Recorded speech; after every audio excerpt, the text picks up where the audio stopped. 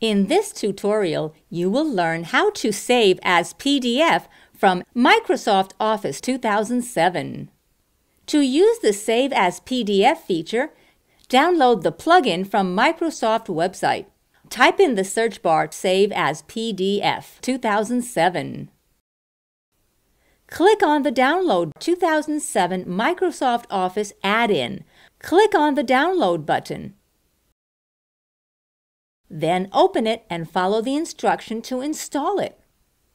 Once finished, open your Microsoft Office file. Now, if you go to File menu in the top left and then Save As, you'll see the option PDF. Another way to use it is simply to change the file type to PDF in any Save File dialog, as PDF should now appear in the list alongside other supported file types. Congratulations! You've just learned how to save as PDF from Microsoft Office 2007. This was a How Tech tutorial. Leave your comments below. Subscribe to our channel and press like. Thanks for watching.